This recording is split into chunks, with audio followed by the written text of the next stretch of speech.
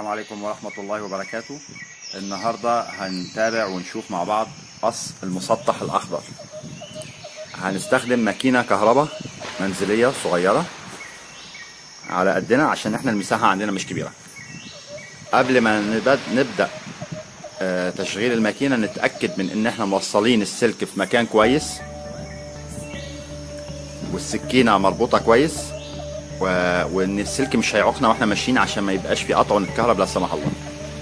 ونتأكد من إن إحنا مركبين البوكس بتاع التنظيف كويس اللي هو بيشيل الشوائب القص إحنا دلوقتي شغلنا الماكينة أهو زي ما أنتم شايفين وماشيين بيها بالراحة بشكل خط مستقيم.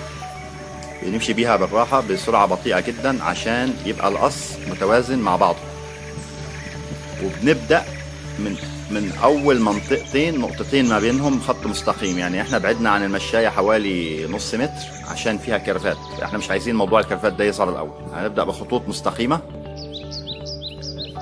ونمشي فيها أيوه زي كده. نبدأ بخط مستقيم ونمشي بالراحة عشان مستوى القص يبقى واحد.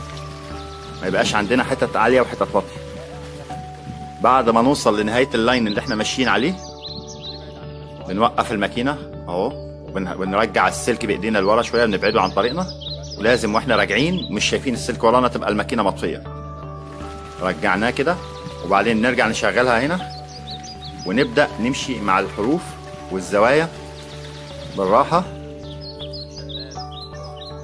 عند ال- القص بيبقى من الناحية ما بعد العجل ب 15 سم في قرص هنا بيبين مكان القص. فبنزق ناحية المزروعات كده بوش الماكينة شوية صغيرين. ونقص المنطقة دي.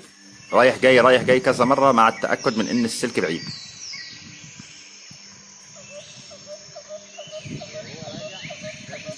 خلصنا قص الزوايا والأماكن المحشورة.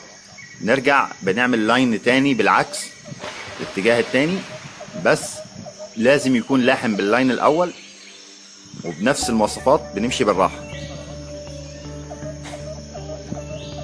يبقى القص كله مستوى واحد. قبل ما نكون في ملاحظة مهمة قبل ما نكون بدأنا بالقص لازم نكون نظفنا الجنينة كويس من الزلط من التراب ومن أي شوائب كبيرة حتة خشبة حتة لو في مسمار. فإحنا بنمشطها بال بالشوكة الجلد أو الشوكة الحديد الشوكة البلاستيك أو الشوكة التنظيف.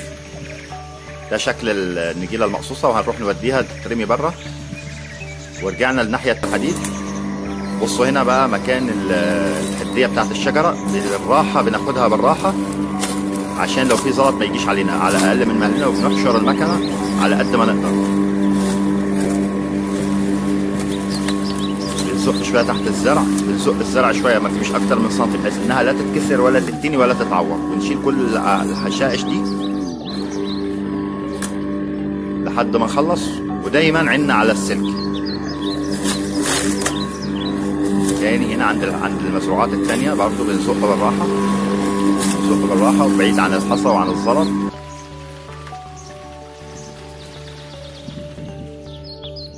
خلصنا مجموعة تانية وخلصنا دلوقتي. بعد ما خلصنا خلاص آه، بنلم السلك ونعلقه مكانه على المكنة كويس. وبنقلب المكنة نشوف السكينة لو عليها حشائش نشيلها. وبكده إحنا خلاص خلصنا قص الجنينة.